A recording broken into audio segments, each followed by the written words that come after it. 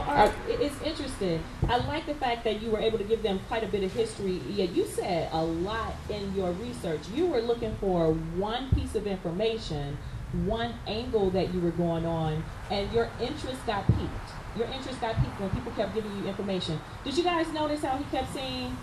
They kept telling me that a black man was arresting a white man. I couldn't. I couldn't get with that. I couldn't get with that. So you had a perception about what a black lawman can do, it sounds like. Yeah, well, my father's father was from Mississippi and he was a deputy sheriff and he always told me, well, they had black lawmen in Mississippi, but they only could arrest black people. But then I had a cousin who started on the Chicago Police Department in 1965.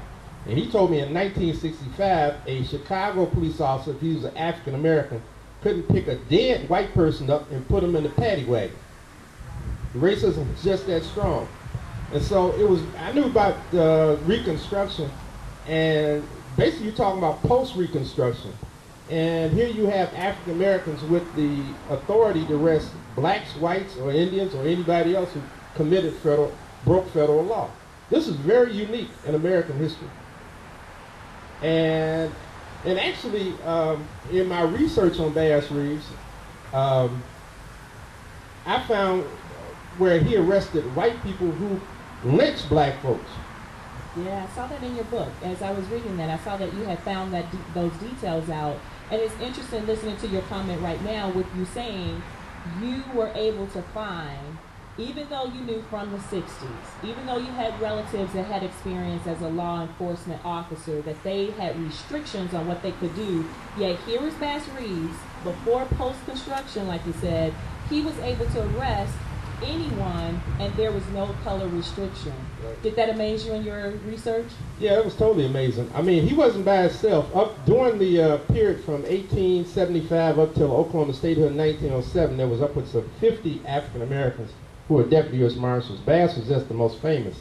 And so for black, see, if you look at American history during that period, and, and just in Texas and Arkansas and other areas, black people were being lynched on a regular basis at that time in American history. But that wasn't happening in Indian Territory, which is very unique.